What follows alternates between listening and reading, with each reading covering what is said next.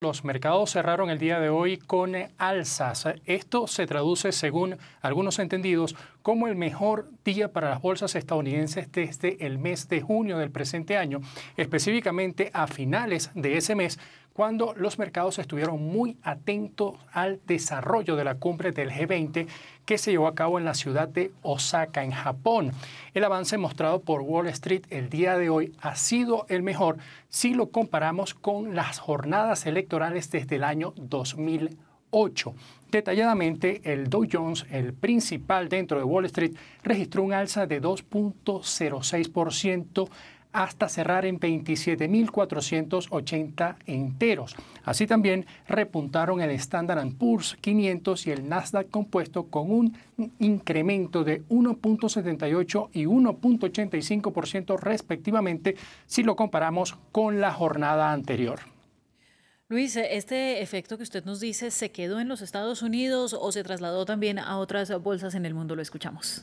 En efecto, la perspectiva fue positiva y se trasladó en un primer momento hacia las bolsas de Europa, donde disminuyó la preocupación por el impacto de este segundo brote de COVID-19 en el continente y la atención se centró en todas las elecciones estadounidenses. Por ejemplo, el DAX alemán registró un cierre de 2.55% en la jornada para cerrar en 12.088 enteros, un efecto que también se vivió en la Bolsa de París, el CAC 40 y el IBEX 35, que tiene que ver con la Bolsa de Madrid, que presentó un alza de 2.52%. Para muchos, su mejor avance desde el 11 de agosto de acuerdo con los medios de ese país.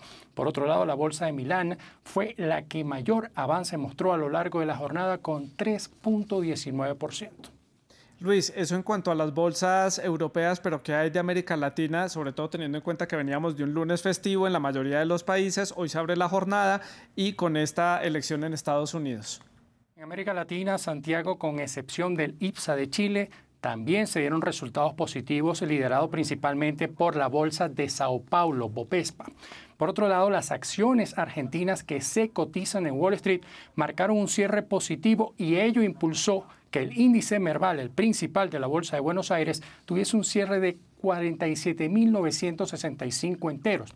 Como ya lo habíamos adelantado, el IPSA de Chile cerró en negativo durante la jornada de hoy, pero nada tiene que ver en este caso con las elecciones en Estados Unidos.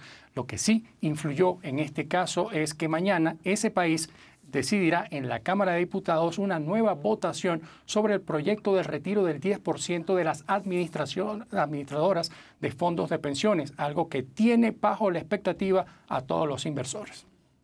Bueno, Luis, y finalmente, ¿qué otro impacto ha generado esta expectativa electoral que se da en Estados Unidos en el resto del mundo? Bueno, además del cierre positivo en los mercados, el precio de algunas materias primas también se vieron impactadas positivamente. Por ejemplo, el petróleo de Texas cerró este martes con un alza de 2.3% hasta los 37.66 dólares el barril.